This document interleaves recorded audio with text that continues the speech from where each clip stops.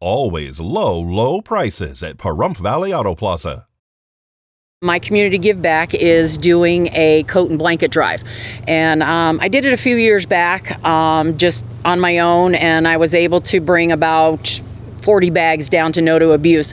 So I'm hoping that um, with the cold weather, you know, people will look through their closets. I know I did mine already, and um, I brought in three bags of, of coats that I never wear.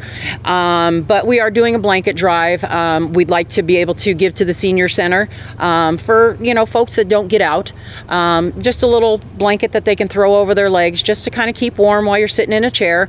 but we do have a lot of homeless and a lot of people that are living in tents and you know they could use a, a, warm blanket or a sleeping bag that you're not using or a winter coat or sweatshirts. You know we have kids out there that are that are freezing at night. And you know so we, we'd like to um, be able to give back to the community so that um, some of these folks can you know have a warm warm blanket or a warm jacket you know to uh, fight off these cold evenings that we're already having. We're going to collect until November 11th. Um, does not mean that I won't start distributing already, you know, depending on, on what we uh, get as donations.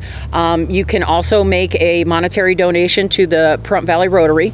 Um, Roy Mankins with Nevada Realty has uh, graciously said that we could drop at his office and then also um, at 160 North Floyd, which is the assessor's office, and you, we have a drop box there. So you there's two places in town that you can drop, um, centrally located, so um, you're not driving all over the Pahrump Valley. We're looking for men's, women's, children, infants. Mm-hmm. Um, you know, you know how quick infants grow, but we're looking for all different sizes. Um, so whatever you can give, if it's new, um, that's great. If it's not, if it's gently used, that's okay as well. You know, we'll we'll take whatever anyone wants to give us. Um, I had a lady bring me in a bag of socks. Oh. You know, kids need socks, adults need socks, you know, keep your feet warm. So, whatever you can give um, is greatly appreciated.